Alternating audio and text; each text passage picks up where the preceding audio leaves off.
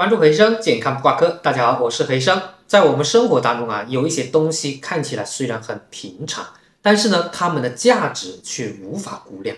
那今天呢，我就为大家揭示一种草药的一个神奇力量，可以说是现代人们健康的守护神。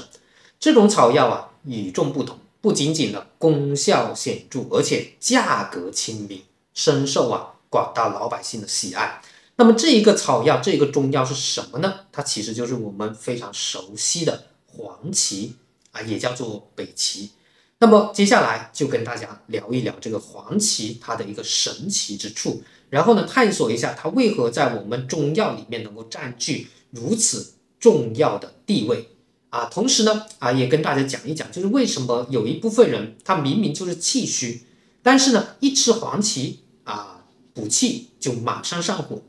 这种情况怎么办啊？接下来何医生也会告诉大家啊解决的方法。那黄芪啊是一味非常不错的补气中药，它可以说是补气之长，也就是像长老一样，它的一个能力最强，补气的作用最强。那其实这个补气，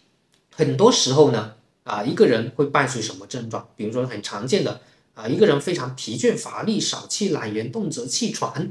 啊，等等啊，动则汗出等等，这些都是气虚的表现。那如果是这种情况下，那么吃黄芪补气就非常好。另外一个黄芪相对于人参啊、西洋参啊、红参啊等等比起来，它的价格啊可以说是比较便宜的，所以深受啊广大老百姓的一个喜爱啊，使用的几率相对来讲是比较高的。黄芪这一个药啊，它实际上从中医的四气五味上来讲，它是一个。味甘的性啊微温的这么一个中药，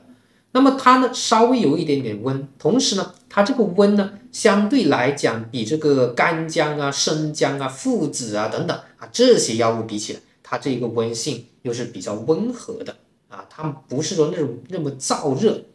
那么另外一个就是它这一个药啊，它是归脾胃肺经的啊，它可以说是能够健脾胃啊补气。同时呢，还可以补肺气，所以如果是一个人肺气虚的这种啊动则气喘的啊，长期咳嗽的慢性咳嗽的啊，属属于这种气虚的，那么黄芪也是可以的。那除了这个补气，黄芪还可以啊利水消肿，还可以补气固表，对于这种多汗的人可以啊，还能提高人体的免疫力。但是呢，有一部分人呢。他明明就是啊，这种少气懒言、动则气喘、气虚的，但是一吃黄芪就上火，出现口苦啊、口干啊、咽喉痛啊、啊牙痛啊、啊口臭啊、啊长痘痘啊等等这些，那这是怎么回事呢？啊，黄芪应该怎么样喝才不会上火呢？那么今天何医生啊，接下来就跟大家详细的讲解。那我们都知道，黄芪它是味甘啊温的。那不管是这种生黄芪还是制黄芪啊，它都是甘温的。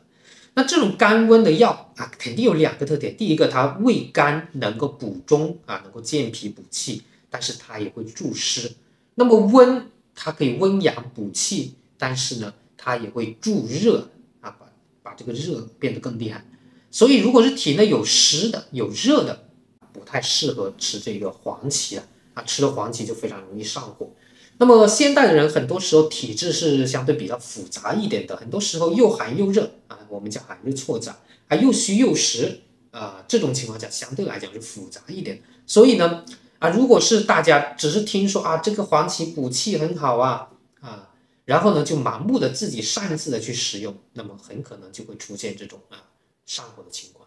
那么接下来就跟大家讲一讲这个黄芪啊喝了不上火的一些小技巧。首先呢，我们非常重要的，其实中医里面还是讲究这个辨证论治，就是首先第一个就是黄芪，它是属于气虚的人才合适啊，只有气虚体质的人才合适吃。第二个就是说啊，刚刚也提到，如果是体内有热的不适合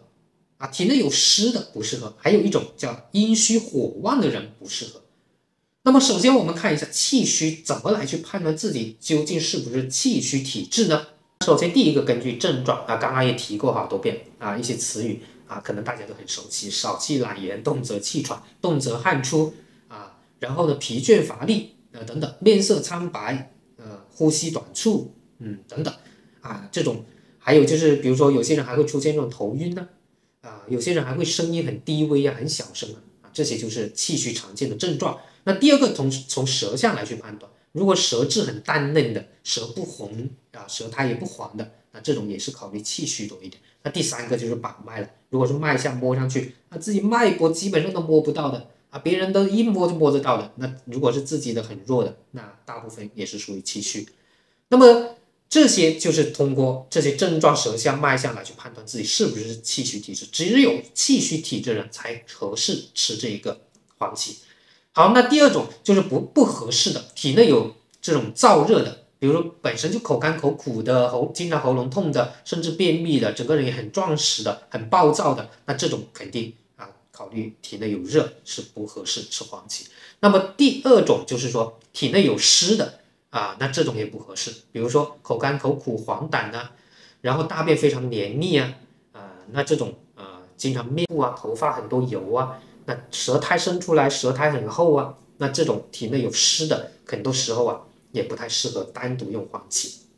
那么第四个呢，就是啊阴虚火旺的，比如说会存在啊五心烦热啊啊烘热感啊啊盗汗呢，整个人也很烦躁啊啊这个地方都很烦躁很很热的感觉，那这种阴虚火旺的人也是不合适吃这个黄芪的。好，那我们假如判断出自己是气虚体质，也没有刚刚讲的体质热、体质湿热、阴虚火旺，也没有这些情况，哎，自己很适合吃这个黄芪，但是吃的还会上火，那接下来又怎么办？那么跟大家讲一讲，就是第一个呢，就是说我们吃黄芪，假如出现的喉咙痛啊，或者说啊眼睛会疼痛，或者说本来就眼睛有干涩啊，这种情况下啊有口苦，那么这种情况下吃黄芪可以加点菊花。比如说杭菊啊，都是可以的啊，能够稍微清一些肝火。那么第二个就是有些人吃了之后会口干的，那喉咙干的，那这种呢可以加一点麦冬石斛。如果加了之后感觉还可以，那么可以继续喝。如果是加之后感觉还是不行，还是口干，那么啊可以加多一点点这种麦冬，加多一点点石斛，甚至加一点生地啊啊玉竹啊都是可以的。那么第三个小技巧、小方法，就是有一些人一吃黄芪水呢，啊，就很容易冒痘啊，可以试一试加少量的这种金银花啊，或者蒲公英。当然呢，如果是有些人啊想补气血的，那么又想补气又想补血的，那其实有一个搭配是很好的，就黄芪配上啊当归啊，这种它又能补气又能补血啊，是非常典型的一个搭配。好，那刚刚就跟大家讲的，就是说啊，吃黄芪呃容易上火的几种解决的小的方法，希望大家能够记住的啊，因为这个黄芪确实是一个非常好、非常好的一个中药材啊，一个草药。那么这个黄芪啊啊，大家平时可以怎么去用呢？一般来讲，就是可以直接啊拿这个黄芪拿去泡水。那么其实每天呢可以啊五克啊十克啊直接拿来泡水当茶喝啊也是可以的。那同时呢啊或者说大家如果拿去煮水喝，那么可能这个药效啊会出来的更加彻底啊泡的话可能泡的时间要长一点啊煮会更好一点，煮一大锅然后拿来啊当茶饮啊这个是更好的一些方法。好，那今天呢就跟大家讲这个黄芪它究竟有什么样的功效啊啊什么类型的人。啊，体质适合吃黄芪，什么类型的体质不适合吃黄芪？啊，吃了黄芪容易上火啊，究竟该怎么办？希望这一个视频能够大家对这个黄芪有一个更深入的一个了解，也希望大家把这视频转发给自己的亲朋好友，让大家都能够学会这一个非常重要、非常好用的一个重要。好的，关注回声健康不挂科，我们下期再见。